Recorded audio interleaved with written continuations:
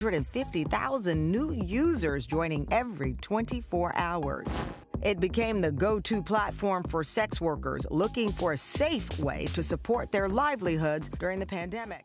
Women around the world are losing their jobs thanks to their OnlyFans accounts, which I'm sure you all know what OnlyFans is. Now, honestly, guys, I'm gonna play devil's advocate here. I'm gonna embrace the chaos as I usually do. A lot of people down these women for doing this type of job. You know, so many women getting fired. We got mechanics, teachers for doing their OnlyFans. And yes, it's easy to pick, it's easy to pick on these women saying their job is disgusting. Why are they doing that? I mean, would you like to find out that a woman you love or your mom has an OnlyFans, you know, making bikini booty pics online for strangers?